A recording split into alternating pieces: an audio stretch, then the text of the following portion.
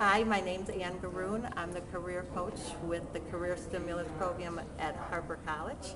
And April M. Williams was our keynote speaker today on how to project manage your career search.